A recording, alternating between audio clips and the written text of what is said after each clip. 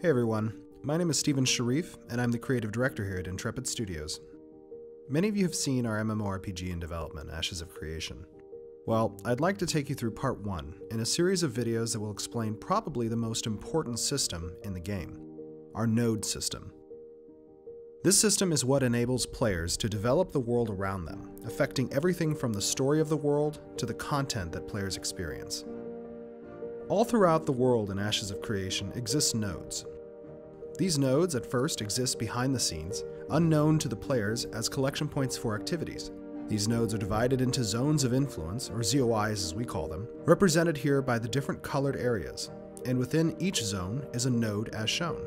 A node represents a specific location where a camp can form and gradually be developed into a village, then a town, to a city, and eventually a metropolis. Every activity a player participates in will fall within a specific node's ZOI, and these activities will contribute to that specific node's development. This is important because only so many nodes can be developed, and certain content is locked behind which nodes develop. This can create conflict between different communities that have a vested interest in the development of certain nodes. When you first enter the world, you will arrive through one of the great divine gateways. These portals are remnants of the civilizations that once inhabited this world. Your ancestors fled their home in haste, and now an eternity has passed, and these divine gateways have opened once again, leading you back to the world of your origin. As our players begin to explore their surroundings, they will find a world teeming with valuable resources, complex quests, and monstrous foes. In this case, one of our players has found some ore to mine, which allows her to progress her artisan class by collecting materials from the world.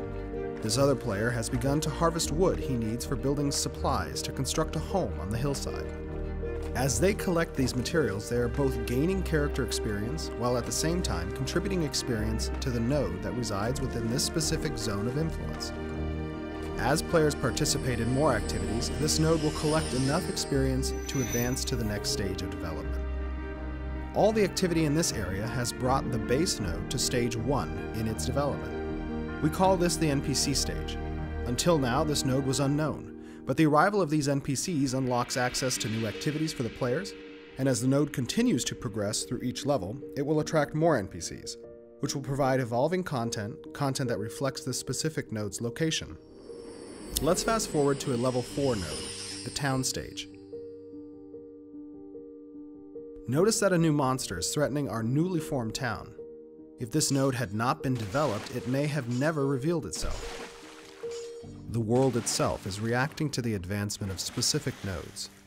This town was advanced near forests and mountains, drawing the attention of the sinister creatures that dwell within.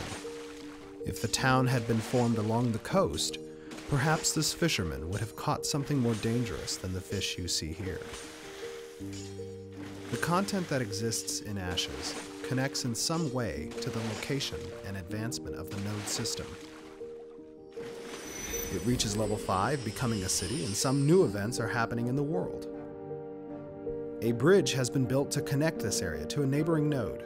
This will add a potential trade route that our caravan system will take advantage of, connecting two neighboring nodes and allowing for economic prosperity for players to capitalize on.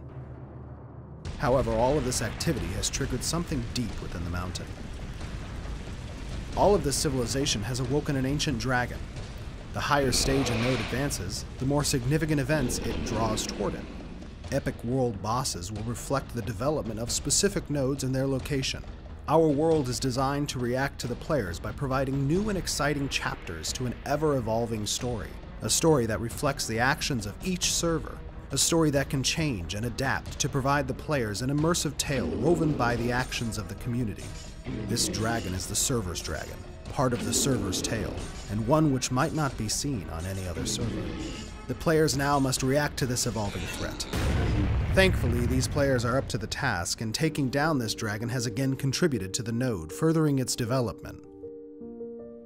From the first stage of a few wandering merchants to the sixth stage of a sprawling metropolis, Nodes redefine the world around them, influencing points of interest in the world, quest lines, story arcs, drop tables and resource pools, even the spawn tables for bosses and NPCs across the world.